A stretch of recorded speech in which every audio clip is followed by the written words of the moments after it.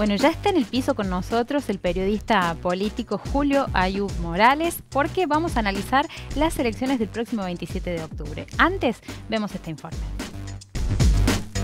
El próximo 27 de octubre se realizarán las elecciones generales en todo el país.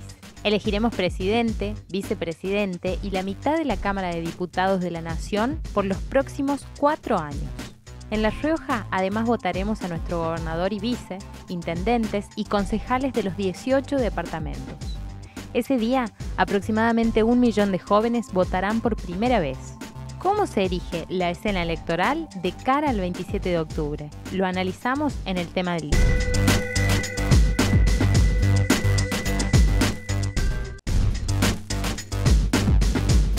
Bueno, como les decía recién, él es eh, periodista político, corresponsal de La Rioja para el diario Clarín y bueno, un periodista que viene trabajando hace muchos años en política aquí en, en nuestra provincia. Julio Ayun Morales, buenas tardes Julio, ¿cómo estás? ¿Cómo te va?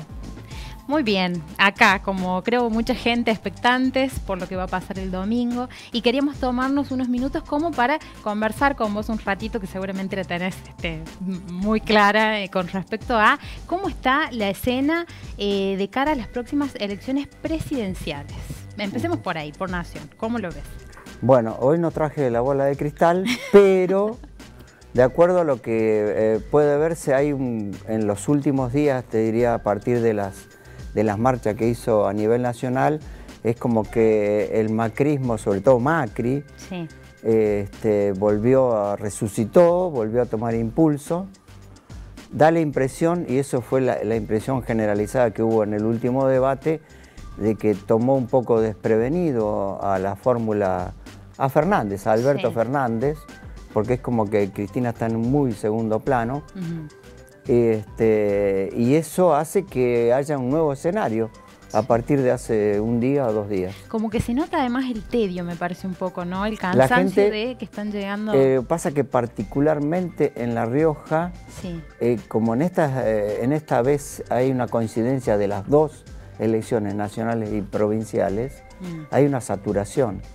También por el sistema que estamos empleando este, de colectoras, hay una saturación del electorado, sin duda alguna eso. Bueno, eso eh, puntualmente quería preguntarte también, pasando un poco más a la escena provincial.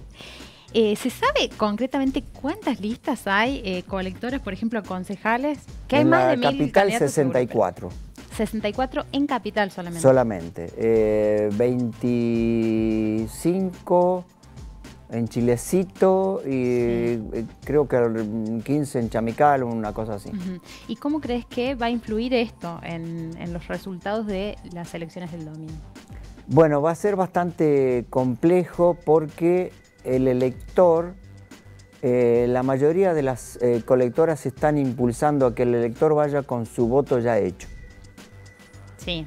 Pero eso implica una logística muy compleja y muy... Este, difícil de concretar, si bien te pueden llevar el voto a tu casa, pero hay mil factores para que vos no lo lleves al cuarto oscuro y tengas que armar el voto en el cuarto oscuro. Porque igual me imagino que va a ser un caos cuando uno entre al cuarto oscuro y ve todas. Eh, pero eso es en capital. Eh, también hay que ver que la mitad de los departamentos elige diputado. Claro. O sea que ahí tenés que agregar otro estamento más. Es, es sumamente complejo sobre todo, por ejemplo, para una de las principales fuerzas opositoras que hoy en día la encabeza Beder Herrera. Por ejemplo, me gusta trabajar con ejemplos concretos. Está bien, sí, para Si yo fuera votante de Beder Herrera, tengo que hacer lo siguiente. Poner la lista de eh, Fernández Fernández, cortar la de casa, porque él no lo quiere llevar a casa y lo hace en público, poner la de gobernador de Beder Herrera, poner la de diputado en el caso de los departamentos que a mí me guste, porque Beder Herrera no lleva candidato a diputados propios. Poner la de candidato a intendente que a mí me guste o que esté más o menos de acuerdo con Beder Herrera, porque solamente en Capital Beder Herrera va pegado con Paredes Urquiza y con más nadie. Claro. Y, después... ponerla de concejal que a mí me guste. Claro. Este, o sea que es una ensalada muy difícil de concretar. Hay que estar muy en tema para poder elegir a conciencia a quién uno quiere votar. Y aparte de eso, vos estás en tu casa, en los días previos van a ser clave, esto, este jueves, ahora, viernes, sábado, este, y vos querés, eh, está bien, te llevan una lista armada, pero vos hay uno de los estamentos que no te gusta, que querés poner a otro, ¿cómo haces? Tenés que ir el día de la elección, revolver entre todas a ver si está, porque ahí hay otro tema muy importante que es la mecánica del mismo día de las elecciones. A ver. Eh, solamente pueden tener fiscal, un fiscal por, este, por mesa y por distrito, aquellos partidos con un fiscal con nivel eh, presidencial, un fiscal para el nivel eh, gobernador, un fiscal para intendente. No hay fiscales para las colectoras. Entonces el fiscal del intendente tiene que tener encima todas las boletas de todas las colectoras para poder reponer en las mesas. No había pasado esto antes. Amén de que cada fiscal, de acuerdo a la ley que se aplica ya hace unas elecciones, tiene que ser del lugar de donde es la elección. Por ejemplo, si es en Guandacol, no puede ser el fiscal de Villa Unión, tiene que ser de Guandacol. Claro. Y la autoridad de mesa, ahora con la última resolución de la, este, de la Cámara Electoral, no puede estar afiliado, lo cual significó un verdadero dolor de cabeza para el Partido Justicialista, sobre todo, que tenía 1.800 autoridades de mesa y fiscales preparados y tuvo que cambiarlos porque al estar afiliados no pueden ser autoridades de mesa. Claro. Y bueno, quizás tuvo que ver con esto que estos últimos días estuvieron buscando referentes, nuevos referentes. Claro, sí, sí, la justicia. Ahora esta tarde creo que este, ayer, estos días, estaba, dando una este, eh, capacitación la justicia electoral para estas nuevas autoridades de mesa. Que por otro lado, esto va a tener un resultado concreto en los docentes. es muy complejo el entramado, Totalmente, porque los docentes que siempre fueron autoridades de mesa, muchos, porque aparte de, cobrar, les implica puntaje para su carrera, el hecho de ser... Ahora, si está afiliado a un partido, no puede ser autoridad de mesa. Y bueno, Va a ser una elección distinta sin duda. Muy, muy compleja en la, concreción. Sí. Julio, ¿y qué opinas de eh, las mujeres, la participación femenina en la conformación de las listas? Teniendo en cuenta que dentro, por ejemplo, en Capital, eh, dentro de las principales este, fórmulas que aspiran a llegar a la intendencia, por lo menos dos están encabezadas por mujeres. ¿Qué opinas? Eh, este año se ha dado un paso importante, creo, en ese sentido. Y si miras las listas de concejales, hay muchísimas mujeres. Yo te diría más que hombres, de acuerdo a las que yo he visto así. ¿Pero en general o en eh, los primeros puestos? Digo, en los primeros puestos. Sí, porque es como que este, hay como una especie de redescubrimiento de la mujer y de la mujer militante. Esto se dio hace mucho tiempo y después fue como un bajón por parte del, sexo femenino y ahora recuperó ese protagonismo el oficialismo lleva a dos mujeres. Claro. Este, Recuperó el protagonismo en la militancia, podemos decir, pero además también en los espacios formales. Es decir, hacer el trabajo de territorio, pero también figurar en eh, la banca, la Bueno, eh, todavía falta aplicar la ley del 50 y 50, sí, de paridad. Sí.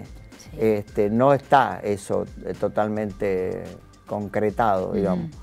Pero yo creo que ya es, ah, eh, esta, se va a notar en esta elección la presencia femenina. Sí. En los resultados.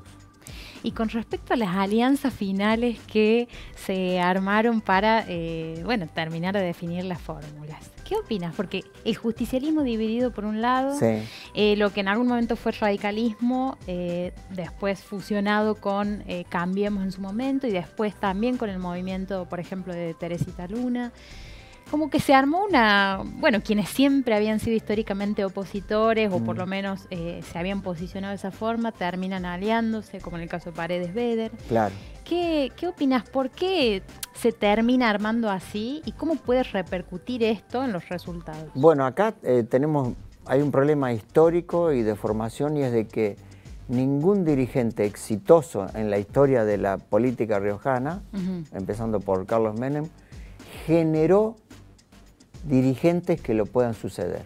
Nadie. Esto hace que eh, haya un problema generacional, que sería más claro el de Beder Herrera, eh, por una cuestión etaria, este, eh, es un tapón para el resto de la dirigencia. Y ahí hay una, confrontación subterránea muy importante. Este, y creo que influye mucho al momento de la movilización del aparato electoral para el mismo día de las elecciones. Es una gran motivación para la gente que hoy del justicialismo está conduciendo a la provincia. Es una gran motivación superar esa, esa, barrera, etaria. Sí. Bueno, esperemos que sea para bien, ¿no? Sí, eh, yo espero que sí, verdaderamente, porque este, si, me, si me atengo, nos atenemos a la, a la experiencia de los años de democracia, del 83 para acá, este, respecto de los cuerpos legislativos, consejos deliberantes o, o legislatura, dejan bastante que desear. Yo te diría que yo conozco la legislatura de la época de, Ricardo Mercado Luna, cuando era diputado. Ah, bueno. y, este, y los dirigentes peronistas, estaba por ejemplo el doctor Omar Rodríguez, que fue miembro del Tribunal Superior, eran palabras mayores cuando se levantaban a debatir. Y eso hoy en día se ha, desaparecido, sí, lamentablemente. Se ha perdido mucho la credibilidad. Claro. Y la formación del dirigente la formación. antes eran gente de consulta y ellos a su vez consultaban en los libros, en la... Y ahora estamos lejos de eso, sí, Julio, eh, ¿cómo vas a vivir vos las elecciones el domingo? ¿Dónde vas a estar? ¿Vas a estar trabajando? Sí, trabajamos, sí, por supuesto. ¿Dónde te puede escuchar la gente? Eh, bueno, yo estoy en, Radio Provincia, que tiene a su vez el canal 13, ese es mi, mi hábitat natural. bueno, y supongo que también haremos algo para el diario Nueva Rioja, que tengo la columna de política ahí, ¿no es cierto? Los, jueves. Bueno, tenemos que estar pendientes y mientras tanto recomendarle a la gente que si pueden armen la boleta en la casa, porque si no... Sí, bueno, eso es lo que está recomendando la mayoría. Sí. Pero también este, hay un cambio, y esto es muy importante. La tijera. no, no va a haber tijera. No va a haber tijera, sí, es verdad, no va a haber. Sí, a pesar de que en elecciones anteriores había. Sí. Pero ahora no, con la nueva legislación no, porque eh, se aplica la legislación nacional en esta elección, por estar prendidos a la nacional. Bueno, este, pero, eh, digamos, hay un cambio de la costumbre. Antes la gente iba a votar temprano. Sí. Ahora ya no va a votar temprano. Es verdad. Ni siquiera la gente grande va a votar temprano. Va a votar a última hora y va a votar apurada. Bueno, Entonces, ir con este, tiempo, ir con la boleta lista y bueno, y votar a conciencia. Ah, eso es lo fundamental. Lo fundamental. es la oportunidad que tenemos. Hay que pensarla tranquilo, este, obviamente todo el mundo piensa en sí mismo y en su derredor, su familia, es lo lógico, ¿no es cierto? Pero también hay que pensar que esto es para cuatro años, vista. Gracias Julio por estar acá. No, gracias por la invitación. Nosotros nos vamos a una pausa, volvemos eh, con Delphi Fausone y un informe sobre las lecturas que nos unen. Ya volvemos.